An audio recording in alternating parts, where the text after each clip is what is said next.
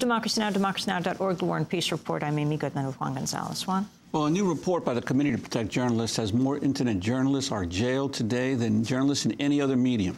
At least 56 online journalists are jailed worldwide, according to CPJ's census, a tally that surpasses the number of print journalists for the first time. The number of imprisoned online journalists has steadily increased since CPJ recorded the first jailed internet writer in its 1997 census. Our next guest traveled to Iran, to Egypt, Syria, Saudi Arabia, Cuba, and China in 2007 to look at bloggers around the world. Um, he is Antony Loewenstein. He wrote The Blogging Revolution. Welcome. Talk about blogging in these countries, why people are ending up in jail.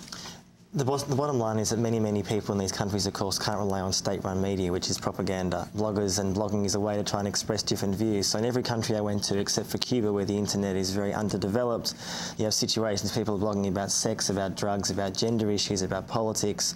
The majority of people in these countries don't blog politically. They blog about their personal lives, about their boyfriends, their girlfriends. But there is increasingly, as that report states, many, many regimes who are fearful of the fact that you have independent voices, simply put. In China, for example, I think it said there were 35 people who were imprisoned. Many of those people, some of those people, I should add, with the assistance of Western multinationals like Yahoo, who have actually given information to the regime to assist these people being put in jail. Google, Yahoo, Microsoft, Cisco, other security firms, internet firms have sadly and shamefully been involved in these kind of um, complicity um, acts. And it seems one of the things I discuss in the book is to actually um, have more transparency about how those guys actually operate in those kind of countries. A place like Iran, say, most population are very, very young.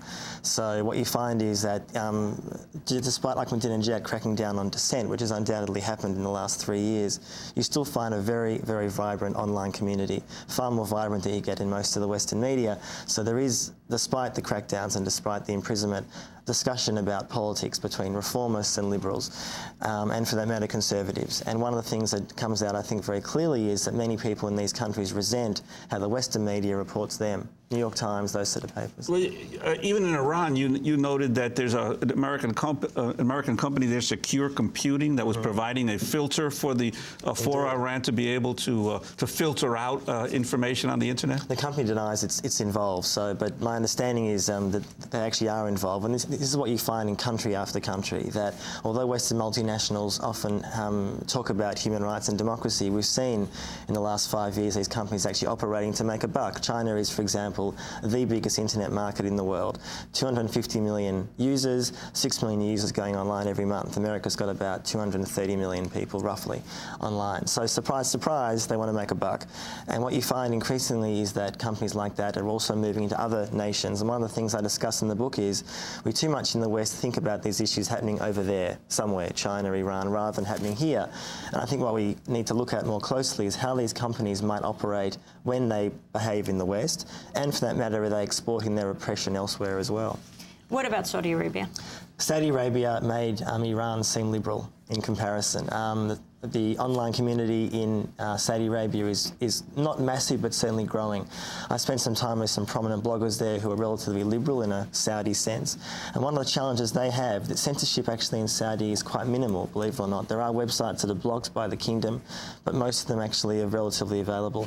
What you find there is a great discussion between so-called liberal reformers who actually want to try and make the possibility of a liberal, more open Islam a possibility. And there's often a great deal of competition online between more hardliners and conservatives who believe in a more fundamentalist interpretation of Islam and more individuals who believe in a more liberal, open, relatively democratic um, Islam. Egypt. Egypt, um, again, arguably the most uh, vibrant online community in the Middle East. Um, there's been a great deal of actually change there because of the internet, not least because of torture. Torture videos that are increasingly now um, published on blogs. The government has been forced to respond. Torture still goes on, of course, but it's becoming a lot less. And one of the things that strikes me is that a lot of social networking sites, Facebook, YouTube, actually are increasingly being used to um, organise dissent against the US-backed regime. Mm. Well, Antony Loewenstein, I want to thank you for being with us Thank and you. writing this book. I know you head back to Australia uh, tomorrow. The Blogging Revolution is the name of his book. He'll be speaking at Bluestockings in New York tonight. Uh, you can go to our website for the contact information, democracynow.org. And I'm headed to Sweden. I'll be speaking publicly on Tuesday night at Stockholm University, on Friday night at Berlin at, Humboldt, uh, at Humboldt University. You can go to our website for the details on that. And we'll be broadcasting from Stockholm, Sweden. Next week, we'll be interviewing the Uh, right Livelihood Award winners on Monday, talking about the Nobel Prizes on Tuesday, and then we'll be broadcasting from Germany, among the places Berlin. And that does it for our show today. Democracy Now! produced by Mike Berkshire, Fotokadusa, Armate, Anjali Kamat, Steve Martinez, Nicole Salazar, Hany Massoud, Robby Karran, Mike DeFilippo, Miguel Nogueira, Peter Curry our engineers. I'm Amy Goodman, Juan Gonzalez. Thanks for joining us.